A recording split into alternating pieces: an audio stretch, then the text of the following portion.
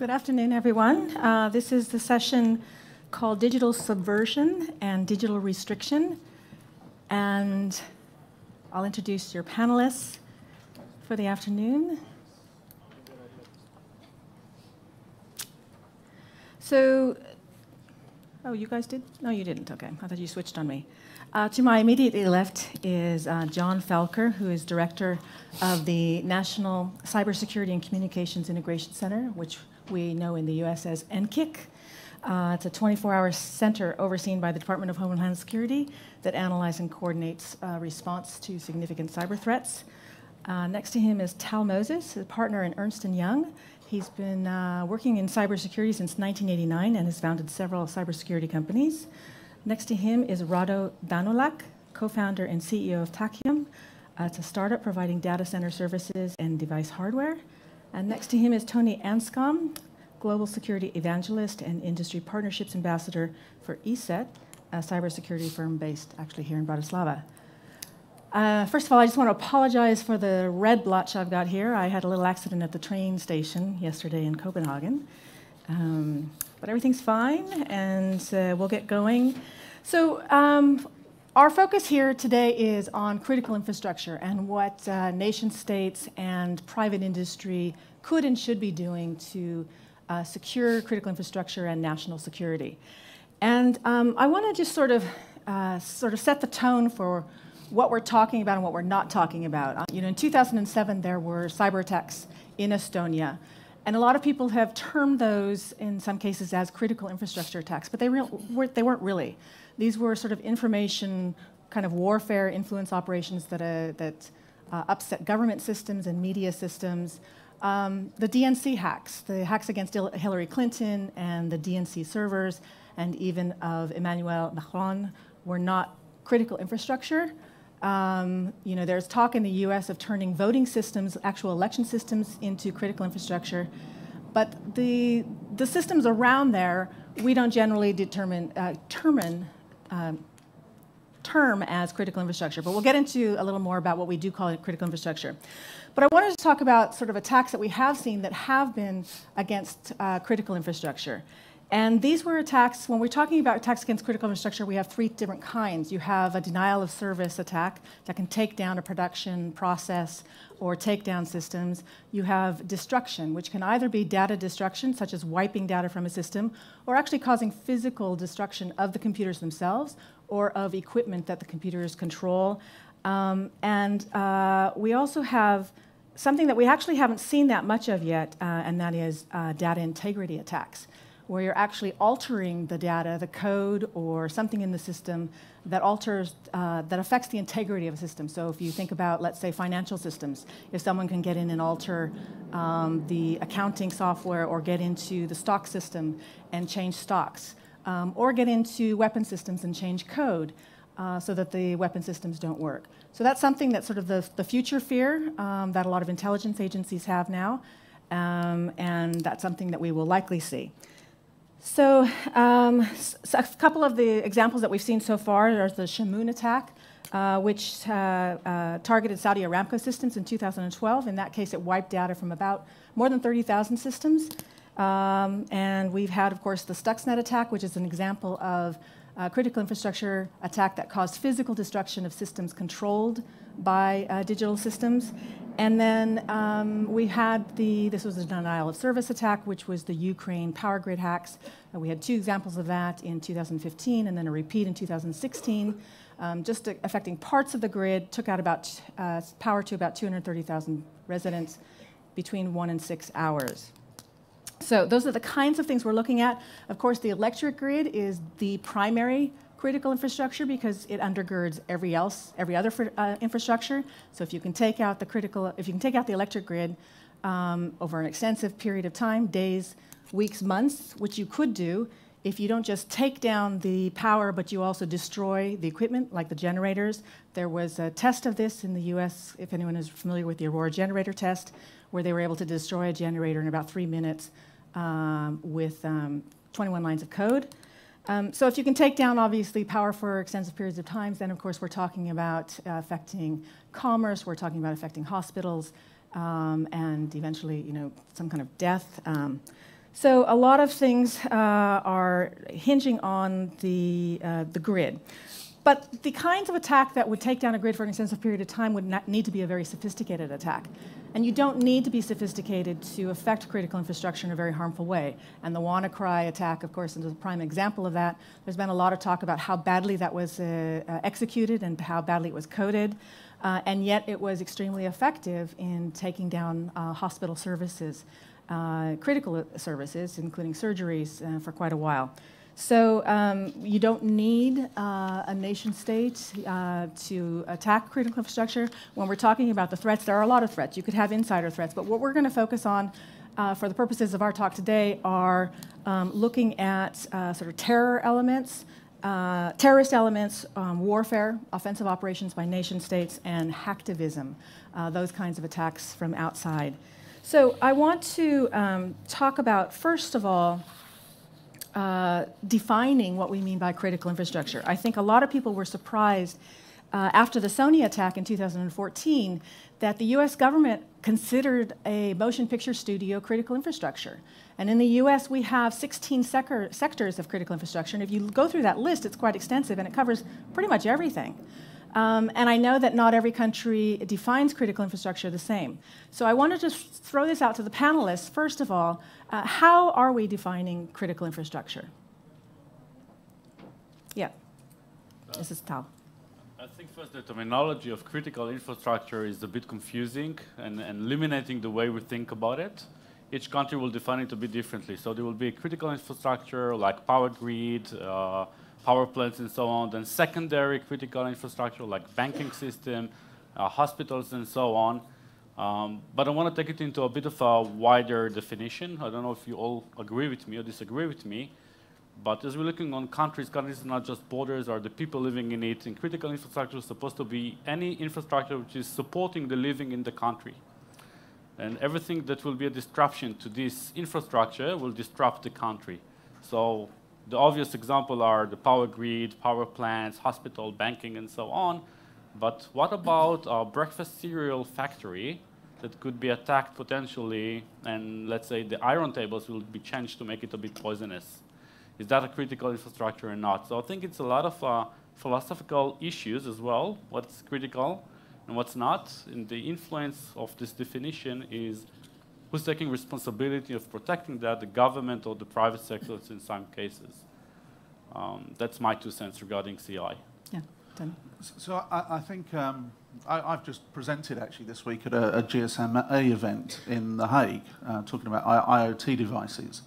Um, and IoT, most of us would think about being a consumer, you know, the things around our home. But that's not what they're talking about. They're talking about the smart city.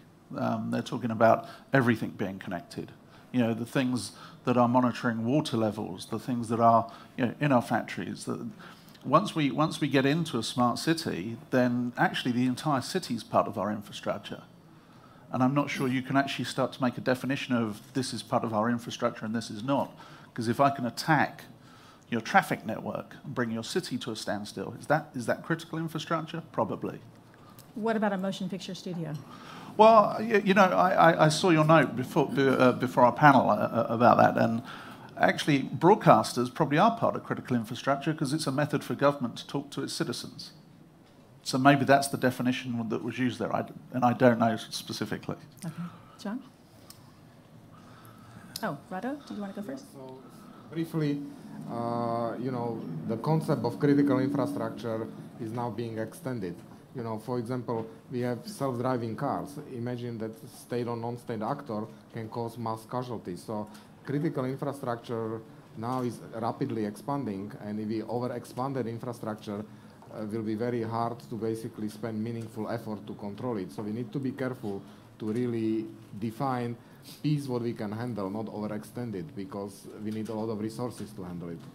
Okay. Yeah, I, I kind of agree with Rado that if it gets too broad, then it you know, you really don't defend anything. Uh, to Tal's point, I think it's a, it may be a national decision what's critical in your country and how do you defend what's critical in your country as opposed to trying to defend everything all the time. Mm-hmm. So basically, if, if everything is critical, really Nothing nothing, is. is, Nothing critical. critical. yeah. Yeah. So let's talk then about who's responsible for protecting critical infrastructure. Is it the government? Is it intelligence agencies um, who are more likely to actually have sort of an advanced view of threats that may be coming down the pike? Um, and of course, we're, we're, we have to make a distinction between privately owned critical infrastructure and government owned critical infrastructure. So, I mean, the case of government owned critical, critical infrastructure. Um, should it be uh, civilian government? Should it be the intelligence agencies? Who, who should have the responsibility there? I'm, not sure there's a difference between government-owned and privately owned critical infrastructure, It's all critical. Um, I think the, the, the larger question is who's responsible for defending that, that infrastructure? And um, the way we operate, and, and you've mentioned a couple of different possible players that are a part of that equation, the, at the end of the day, the asset owner is respons- responsible for defending the network. But government and the intelligence community and law enforcement all have a, have a play in supporting that defense. For example, you know, the, there are a lot of uh, uh, rural utilities in the United States, electricity, for example. Um, and their IT guy probably also serves as their financial guy and probably the jan- jan- janitor, right? Uh, so how, how competent is that one person going to be in defending that? So, so those kinds of facilities need, need the intelligence and, and uh, the information and the support to help do their defense better. So uh, ac- actually, every piece of that infrastructure has own responsibility because government cannot guarantee or cannot protect against a vendor doing poor job and leaving vulnerabilities. Government can set the standards which uh, vendors has to adhere to. So, so the government responsibility is defining the policy, defining the standards. Vendors, they have to meet the requirements to the standards. And the owner of the system, they need to adhere to standards of physical protection and so on. So every piece has own responsibility and component. And, but the standard setting and, and the governance is really job of the government. Well, are you talking about voluntary standards or actually talking about regulation? Uh, see, uh, on, on uh, a lot of critical uh, national infrastructure, uh, it's hard to rely on voluntary standards because uh, they are not met. And how you guarantee certain uh, standard of safety relying only on voluntary compliance. So I believe that the role is really in standardization body and government setting requirements and policies. Uh, if they are not set, there is no driving mechanisms for vendors to comply and accomplish that level of security. Yeah. So, so one of the problems with, with standards of, of when governments issue standards is um, governments typically can't keep pace. Um, and that's a challenge. That's a huge, huge challenge because you've got to go, go put it through a legislative process, and you've got to get it agreed by industry and the rest of the government, and it's it's tough for them to do.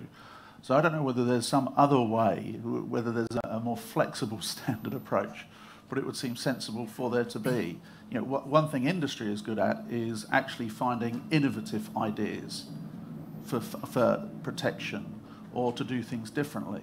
Whereas if you have a written standard and you corner industry into, into a certain way of doing it, then you, you also take out some of the innovation, which is not a good thing. But you are relying in that sense uh, quite a lot on voluntary. So a lot of the problems that we have with critical infrastructure are not necessarily, uh, they are, however, with the owners of the critical infrastructure, but there are deeper problems in terms of the products and the software, uh, the hardware and the software. And many of these, and particularly industrial control systems that control uh, power plants, that control chemical plants, that even control traffic lights, um, they were never designed with security in mind. They were designed 20 years ago, and you can't slap security on them. Really, in, in, in order to secure them, you've got to re-architect and redesign them. So, is there a role for government? Because if, if, if the customers aren't demanding security from the vendors, is there a role for government to sort of set a minimum standard uh, for any security product? And I'll just give you an example. Um, medical devices. We have the Federal Drug Administration in the US that oversees the testing uh, and reliability of medical devices before they can go on the record. They never had a security component to medical devices until I think it was last year, after researchers uh, found a, a, a number of security problems with pacemakers and drug infusion pumps and uh, diabetes insulin pumps and things like that. So, is there a role that government can play in um, uh, uh, requiring certain products, industrial control system products, if they're going to go into critical infrastructure, that they have a higher level. And maybe that's a way of raising the security for everyone if you get the product more secure. Yeah. Well, you, you raise an interesting point because there was an article this morning in the news about medical devices, Hmm. specifically about pacemakers. Um, and to bring it back to what you just said, uh, the difference between voluntary and mandatory, uh, 49% of the medical companies that were talked to by that survey said they don't adhere to the standards set. I'm sorry, they don't They don't adhere to the standards that were set by the, the drug agency. So there, there we have manufacturers already admitting they don't because it's a voluntary standard. So somewhere along the line, you have to make it a mandatory standard. At some point, you have to make that Yeah. decision. It, it comes down to a risk decision, essentially. And, and on the part of the manufacturer, I think it's a risk decision that's based upon um, what are we, how are we going to, how are we going to profit from making this piece of equipment or this, this set of code uh, to, to do what it's supposed to do? And where's the balance between um, the profit and the, and the security that you would build in? And uh, how much risk are we willing to uh, accept? And then the, the buyer also has to take a look at, all right, uh, if these are the standards and I can prove that you, that you've met those standards, then I'm willing to accept that product. But if, you- if you, if you don't, then, then I won't, or I, I will hold you to them if I'm going to buy your product.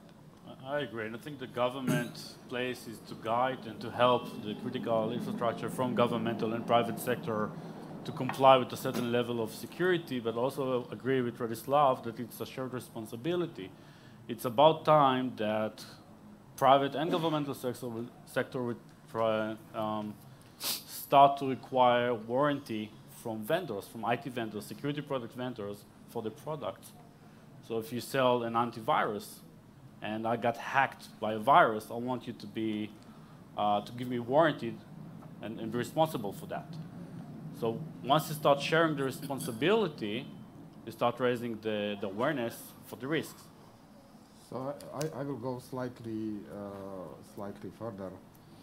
Uh, today concepts uh, are basically reactive. There is pool of the, you know, of the potential vulnerabilities, uh, and uh, you know we are trying to build defenses after the fact. Uh, you know the systems are not designed by, uh, say, by construction. Uh, technology and uh, exists to do that. Uh, from capability-based system and so on.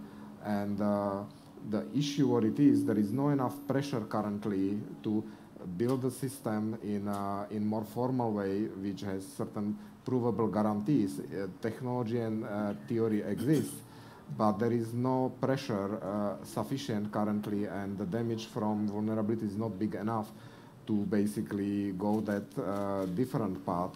And uh, I can see the role of the government in the form of, uh, uh, you know, uh, supporting that coming from pushing on more university the technology to incorporate that to the system because Unix came from the universities.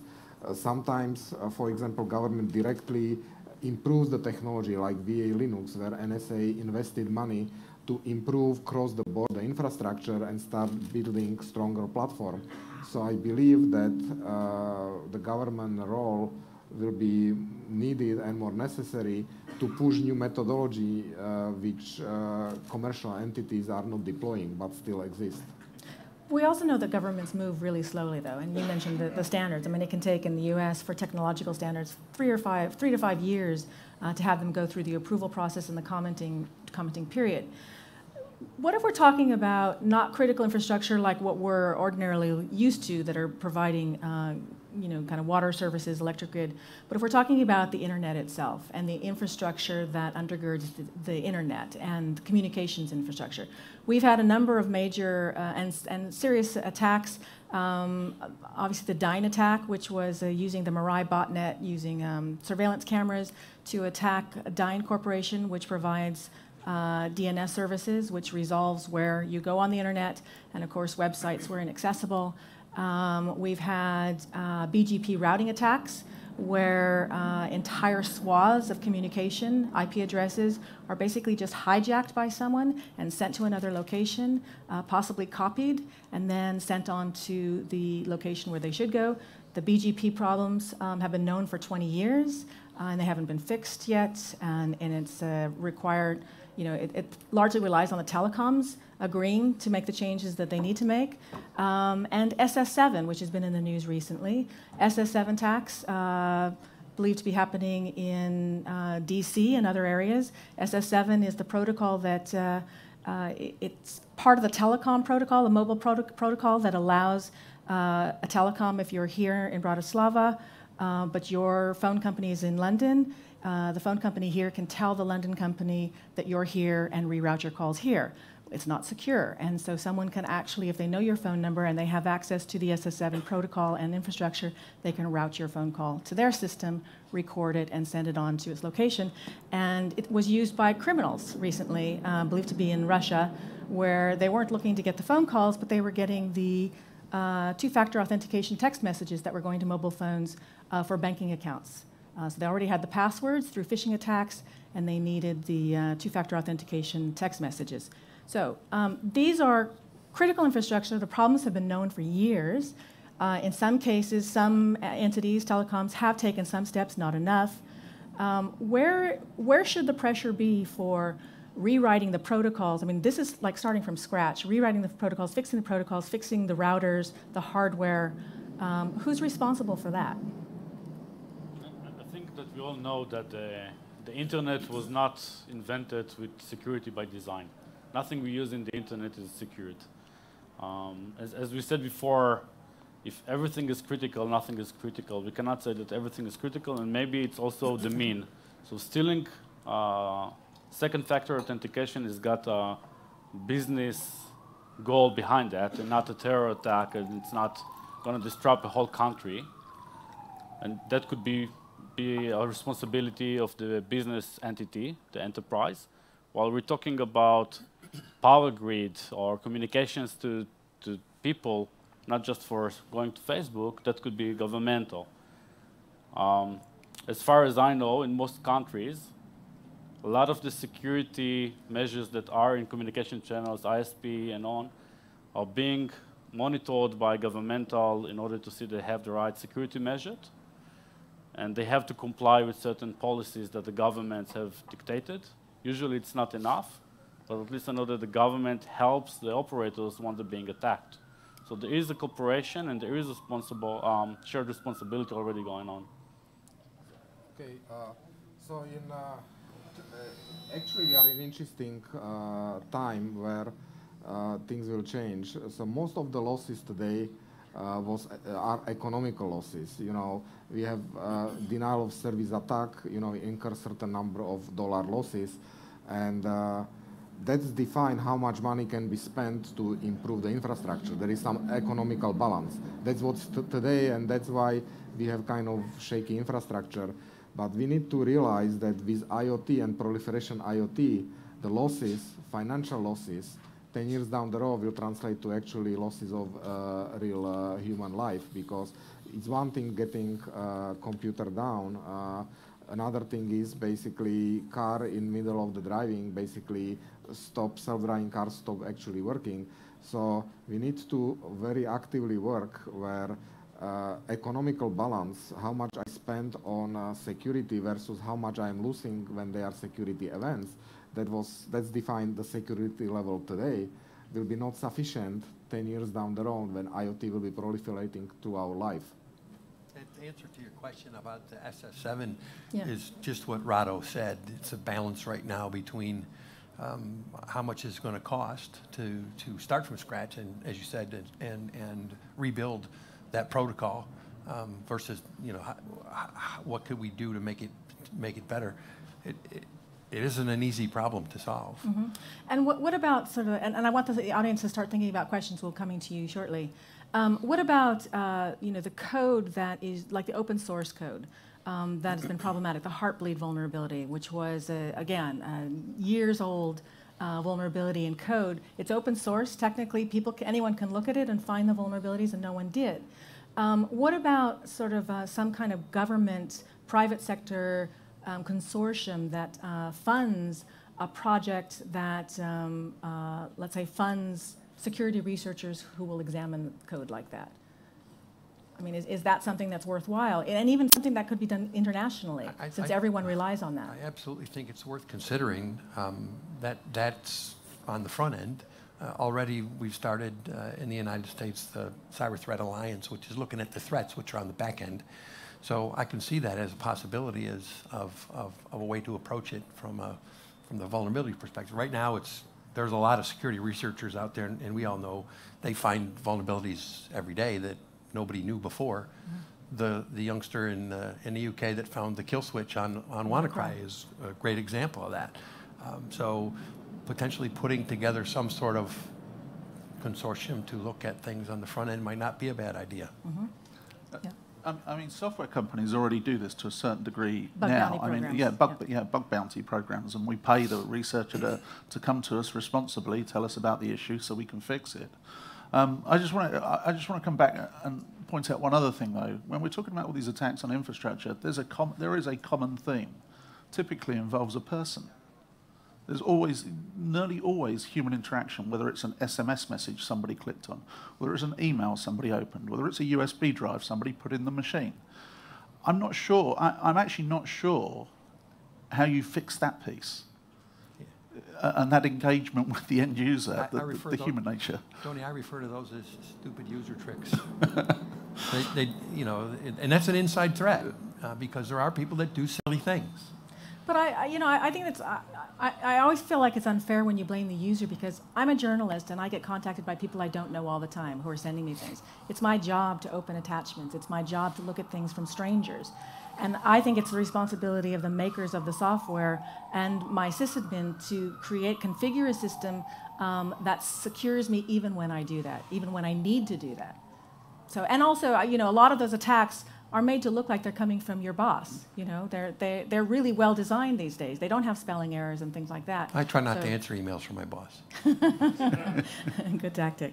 Um, I, I, want just, to I just go to his office and talk to him. face. Okay. Uh, are there questions? Because I want to go into some. Okay. Edward.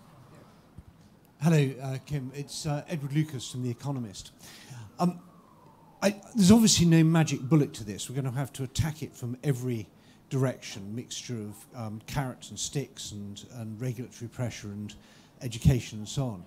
But none of you've mentioned trustworthy software, and I'm wondering whether there's a uh, there's a very interesting conference going on on Langsec at the at the moment, um, which and, and, and I'm wondering whether there's a role for the state in setting um, mandatory standards for using trustworthy software, um, which is not you know, much more expensive than the regular software, but on if it's critical, maybe we should be saying you can't do a self-driving car because of the externalities, the damage it can do to other people, unless you have that. I also wonder whether you've mentioned the IoT, whether you're really saying we should be pulling the emergency brake on the IoT. We just shouldn't be going until you have you can guarantee that at least the firmware on these things is um, remotely updatable. Um, you're creating so many problems for the future, both in terms of, of vulnerabilities of the devices inside the home or wherever, but also in terms of becoming part of botnets and so on, um, that we should be really going for a sort of dramatic, uh, dramatic stop, or is that just impractical? Can we slow the pro- pro- proliferation of, of IoT? I don't think we can. And I think at the end of the day, it comes down to making a risk decision about how far we're willing to go. Uh, I'm not sure that the trustworthy software is going to be pervasive because, as you say, it's very expensive. Although, again, it comes down to risk. What am I willing to accept? Rado. Al- Also, uh, I would point out that concept of trust chain in security, trustworthy software, it's illusion of the sec- uh, of the safety uh, for few reasons. Uh, either state actors or uh, extreme ideology, uh, you know, employee can put into work into company which has safety, which has which is trusted, yet they can plant uh, basically piece of the software subverting the software. So the methodology of relying on the trust, uh, you know, because the, so many people are involved, it doesn't work very well. And let's look at practical example. One of the largest damage to US uh, was done by uh, supposedly trustworthy people, people within NSA, people like Snowden, which have been cleared and trusted, So the concept of uh, trust chain is as weak as the weakest link. And you know, there are hundred or thousand software companies. We cannot clear every software, uh, basically person uh, in that all the chain of the software infrastructure. So I would uh, basically point out we need to move to system designs uh, safe by construction, and that's where basically uh, you know this is underserved area uh, which basically needs more attention. So instead of being reactive, the system is safe by design. We shouldn't, and we can't really stop the progress. We cannot stop IoT from happening. Uh, we, maybe we can explain the risk better, but we should never stop progress.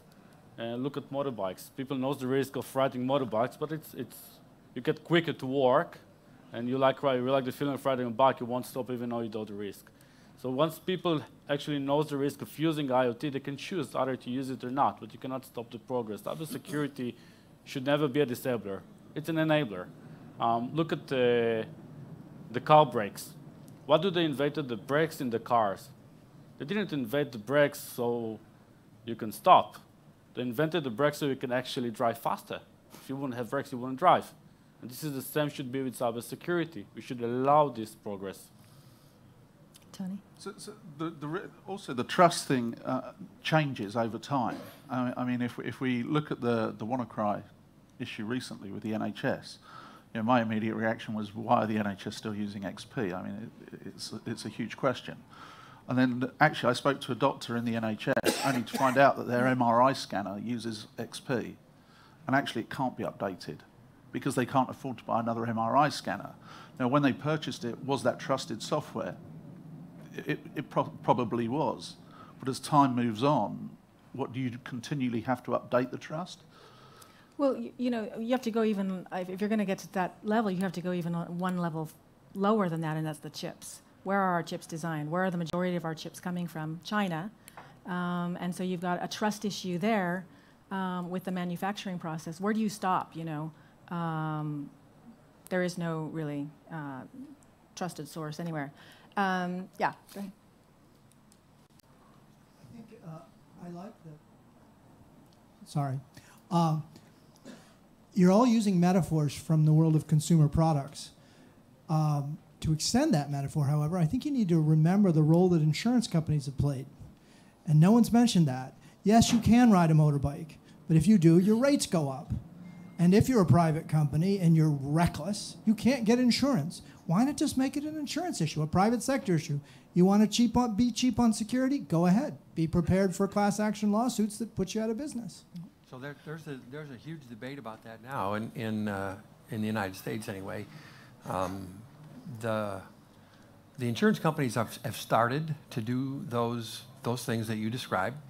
They don't have the actuarial tables like they would for life insurance or fire insurance, which go back hundreds of years to make decisions, but they've stepped out and have started to make decisions based upon a small amount of data to, to insure uh, I think the bigger question when it, when it comes to insurance and cyber is what's, what's an acceptable standard of security? That has got to be decided first. You know, it's all over the map. And it depends, it depends what sector you sit in. Um, so what, what's the due care that you're going to hold somebody to when they purchase an insurance policy? And, and how do you define that due care? And is it different from an electric grid as it might be at Sony or with a healthcare manufacturer. It, it, it, may be, I don't know, but I think you're right. I think that, that, that, uh, that we should have that discussion. Yeah, I, I just, you, you talk about the insurance industry, and so there are a lot of different ways of coming at this. And one interesting example that we had recently in the U.S. was with the, the medical uh, short stocking, uh, sh shorting of the stock.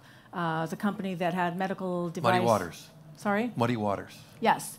Um, so unsecured the system, and the researchers found vulnerabilities, and they decided to short the stock. Um, and because it was, you know, a lot of companies are told about vulnerabilities in their systems, and they shrug their shoulders and they'll say, it's, it's not a real vulnerability, uh, it's a theoretical vulnerability, or we'll get to it when we can, and three years later the product is still insecure. And so they're going after it, uh, you know, in, in, a different kind of financial way.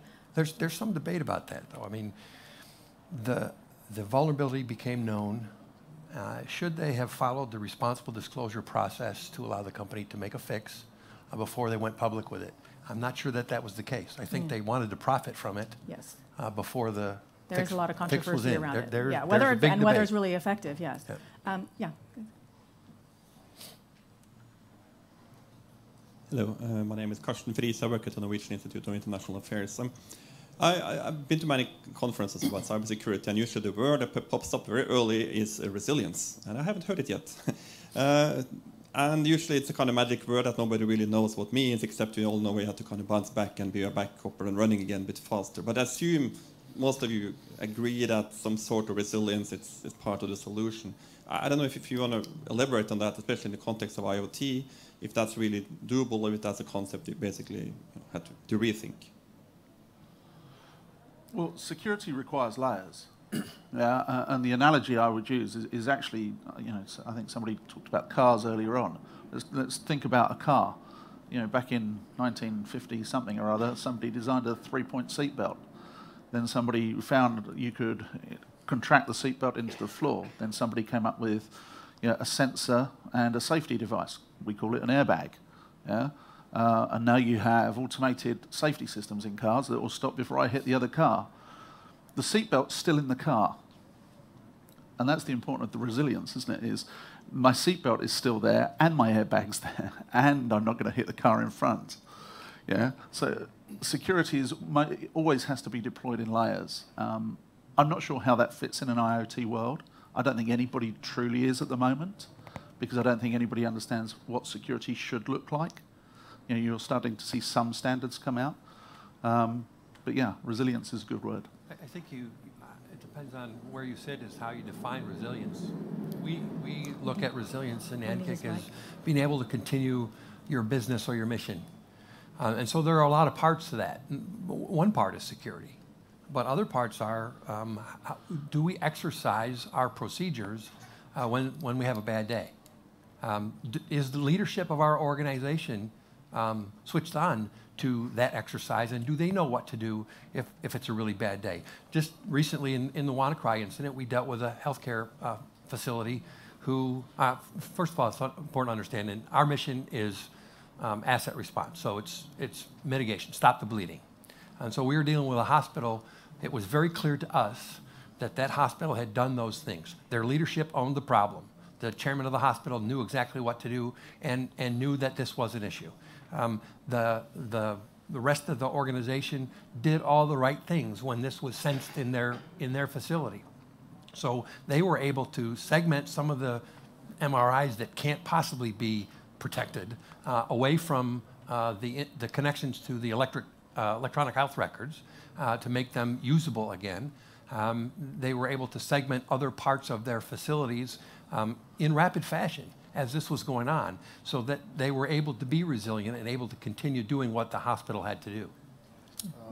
I, I would also uh, like to point uh, significant shift which is starting, but in a few years will be in full swing. It almost sounds like uh, uh, the lower cost device, more security needs. It sounds completely counterintuitive, but let me make an example. We have PCs, we have laptops. They are thousand dollar devices. We can afford paying thirty dollars antivirus and services on that. Now, if I have, uh, you know, intelligent microwave, I cannot spend thirty dollars of running antivirus on that. It has to just work. TV has to just work. Yeah. So the basically the the model, economical model uh, and balance between money spent on uh, on basically securing system is uh, basically even more important in IoT because they are lower cost devices. The things which work like antivirus, we cannot afford on intelligent light bulb, which is one dollar device. We cannot run that. So these systems they have different requirements, and again, is driven by economic balance, nothing else. Economy is the most powerful force. We need, just need to understand and harness that. I want to go back to what we started the discussion with critical infrastructure, and we're talking about critical infrastructure and IoT together. And most of the problems happens when you take OT, operational technology, and move it into IoT. The water gauge is not new. It exists for 20 years, some of them 12 years, and now they're making new water gauges with Ethernet adapter to become more, with better connectivity. But this is not where the problem is. Yes, it's not secured, it's easy to break, but nobody can get to it. The problem starts when you make it into IoT, when you can control it remotely. And the good news are that we're still in the transition of digitalizing critical infrastructure. If you go to the trains, railroads, just now in most of the world, they're becoming digitalized. You can uh, start controlling the railroad from a computer and not manually like until a few years ago. And if you can still now, we can still change it and secure it because all we have to secure is the digitalization and not the old infrastructure. So yeah, and in, and in many cases, I point out that the government in is pushing that digitalization we had a problem, for instance, with smart meters in the U.S., right. where the government subsidized the rollout of smart meters um, before they were tested for security, and of course they can be remotely shut off to cause uh, blackouts. Mm-hmm. Um, so uh, when when you have initiatives that are um, uh, under uh, um, what's the review? Un- underpaying. I mean, when you're when you're subsidizing uh, through government, there has to be hand in hand with that a responsibility to establish um, some kind of security model and standardization before. Uh, you had a question. Uh, my question is, you're talking about uh, antivirus and, and trust and uh, IoT, uh, and if, if an IoT device or a chip is coming from China, the, there are some, some concerns. There is now the company Kaspersky under review uh, uh, by the US government because there are some issues with, with trust. My question is, gentlemen, what measures uh, do you recommend on a global level uh, so that we don't have to stop at a country level. You know, I'm sure there are some, some great Chinese companies which uh, could be trusted. Uh, there are companies which, which could not be trusted, Russia as well. So what measures should be implemented in, in terms of auditing technologies and making sure they're really secure or not? So you cannot really audit technology. Uh, it's too expensive process. It exposes IP. And but I would point out, you know, China and Russia is kind of convenient, basically uh, supposedly bad guy, but in reality, majority of, of the problems did not originate in that country. We did not have uh, recent outbreak because there was uh, subverted uh, chip from the China. So we should really look where is the bulk of the problem coming is and not try to politicize and divert the resources in the areas where, you know, uh, yes, uh, you know, subversion of the chip is important if you have uh, weapons and nuclear weapons and so on, but we have to focus where the really biggest impact is and uh, where the money is and uh, you know, we should be pragmatic rather than trying to politicize uh, basically problem. I, I, agree. Most of the problems that we've seen from China are commercial problems of stealing intellectual properties versus attacking uh, in order to, to create destructive. But uh, and, and now it's, it's changed. I believe that China have changed their plans now and they're acquiring intellectual property, properties more than stealing them, and they actually have a very clear plan of how take over markets in, in a commercial way. And I, I, don't, I don't think China is the threat agents that we need to deal with, but I do agree that we cannot control where all the different parts are coming from. If you're talking about car manufacturer, each car is being assembled from parts from over 170 different vendors. Who should take responsibility, the vendors of the parts or the car manufacturer? I agree that it's a real question that we're still not facing, and I think that we're talking about two worlds, like there are two different worlds, the physical world and virtual worlds. But the question is, are they the same world or two different worlds still? Because the car is now part physical and part logical. In the physical world, we have clear rules, clear responsibilities. They're not just, just not that clear in the virtual world. And it's a real question how, if you should unite the same responsibility or still share it the way it is now. Also, I would a little bit touch about China because we have a lot of things to learn from the China. We talk about a lot about securing national infrastructure and communication and, and planning for that. They are actually doing that. In fact, in 2016, they, they roll uh, the basically uh, quantum-based uh, encryption network for their uh, military and the financial systems, and they actually deploy that, and we still need to do that. So you know, uh, we should actually learn from each other. And this is example when they did right thing, and we still have to follow it. So we should work rather than uh, you know trying to basically have antagonistic relationship. We can each learn from each other, and uh, I think that's that's the way to go. I just have a sort of jump in because we're talking about sort of adversarial nations and the problems that they create and the vendor problems. What about when we're talking about a nation state itself that is, and we had an example of this, of course, with controversial example with WannaCry, where it used um, an exploit developed supposedly by the NSA um, involving a vulnerability that wasn't disclosed to Microsoft until a short time ago. Um, so held on by a government for years. So, and not just the U.S. I mean, uh, uh, every country does this. Not every country, but uh, the major players, intelligence agencies, and governments, um, stockpiling vulnerabilities rather than uh, uh, disclosing them so that they can be uh, fixed and leaving millions of systems vulnerable. How do we deal with that problem? And, and either internally, state by state, internationally? What's the solution here? I, I think in order to answer these questions, we need to put it a bit more accurately. The, the NSA did not develop an exploit, it found a vulnerability. And anyone else could have found this vulnerability, and as far as we know, maybe someone else already found this vulnerability. Eternal Blue was an exploit. Excuse me? Eternal Blue was an exploit. You talked about WannaCry?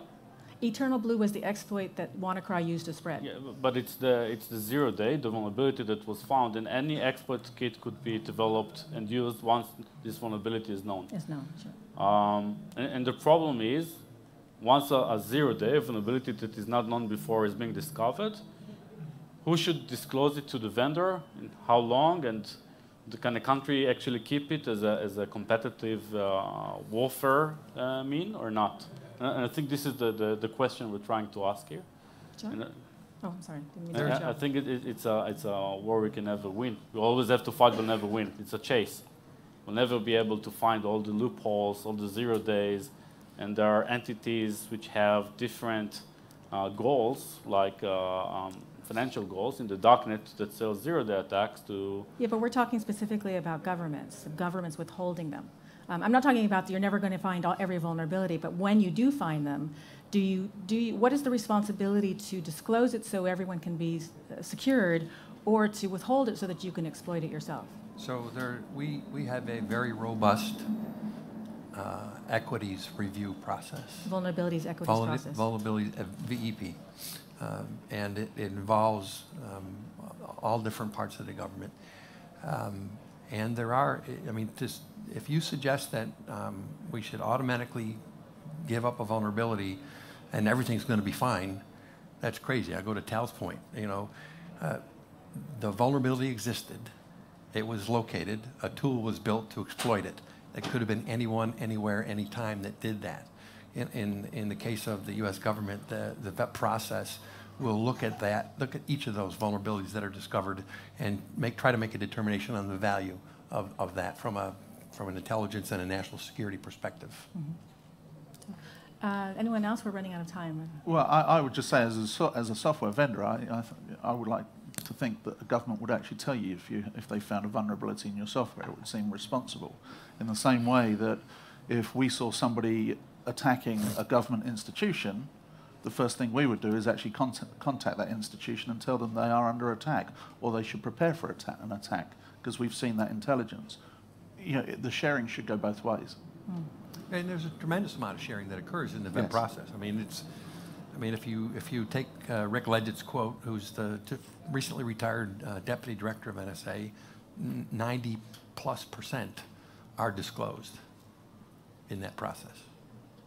I think, moreover, we've seen governments that actually uh, enforce several vendors to leave backdoors for them, so, that, so they can use them later.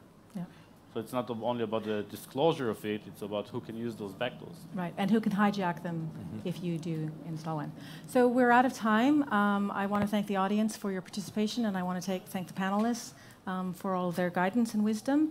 And I have a couple of uh, housekeeping notes for you all.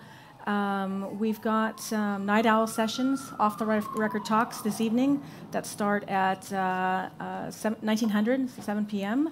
Um, for those of you attending the dinner sessions, note that the buses will leave outside the hotel at 18:30, 6:30, and tomorrow morning the first session here in the Danube space starts at 9 a.m. sharp, and it will be on artificial intelligence. So please join me in thanking the panelists.